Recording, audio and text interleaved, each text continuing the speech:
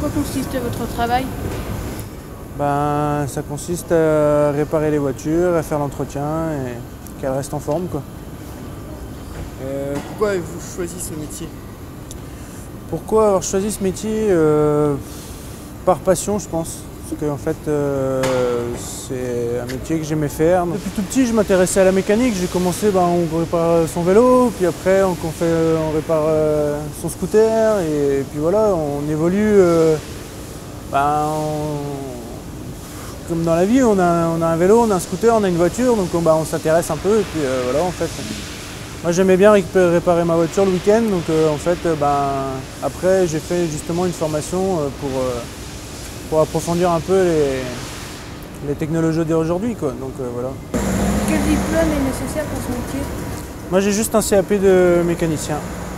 Et puis se mettre euh, à la page parce que c'est vrai que les voitures évoluent tellement vite que ouais, on a des formations. euh, par exemple, les gars ils vont en formation pour voir les nouvelles voitures, ce qui sort et se mettre à la page. Quoi. Parce que là par exemple on est sur une voiture hybride.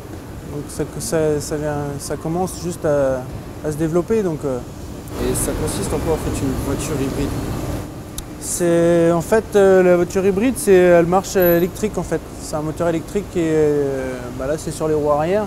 Par exemple quand on est en ville, euh, si on n'a pas besoin de puissance, le moteur électrique veut- va se mettre en route. Et par contre si on recharge la puissance après, le moteur thermique va se mettre en route et là on aura plus de vitesse. quoi.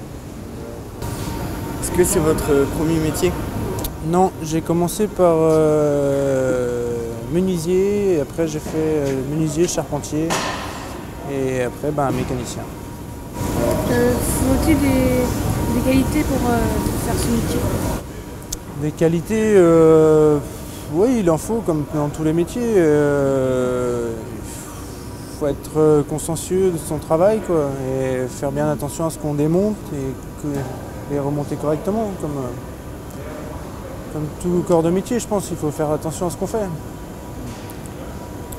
Sinon, euh, quels sont les avantages et les inconvénients?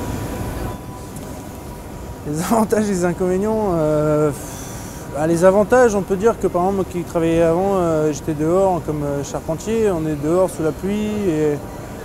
Alors que les avantages ici, déjà, on a un toit, euh, donc euh, on est à peu près à l'abri. euh, il fait. On a aussi du chauffage, donc on est plutôt, euh, on est plutôt pas mal. Est-ce que vous, êtes, vous travaillez seul ou en équipe? Ça dépend du travail qu'on a à faire. Par exemple, euh, là, on- la plupart du temps, on travaille seul. Sinon, euh, des fois, on a besoin des coups de main de collègues. Donc, euh, c'est vrai que ça arrive qu'on soit deux, mais c'est très rare. Combien d'heures travaillez-vous à peu près? On est aux 35 heures par semaine. Du coup, en fait, euh, vous commencez à peu près euh, vers quelle heure le matin et finissez vers quelle heure? On commence à 8h30 le matin et on finit midi. On a euh, deux heures de pause à midi et après, on recommence de 14h à 17h30. Euh, Par exemple, une journée type ici, c'est c'est quoi? On ne peut pas trop dire qu'il y a des journées types. Des fois, on peut, avoir, euh, on peut avoir un peu de tout. On peut avoir une vidange, on peut avoir des pneus, on peut avoir un embrayage, on peut avoir une distribution. Euh, on ne sait pas vraiment euh, qu'est-ce qu'on peut avoir comme. Tout, tout est varié en fait. Donc, Est-ce que vous allez chercher les voitures qui sont en panne? Oui, ça c'est. ben, en fait, je viens de passer mon permis poids lourd aussi et ça arrive, oui, que les, ben, les clients nous appellent pour aller euh, réparer, euh, changer une batterie, réparer des pneus ou alors on va chercher les véhicules, oui, euh, quand ils sont en panne. On a un secteur euh, bien défini justement sur, euh, pour, euh, pour le dépannage en fait.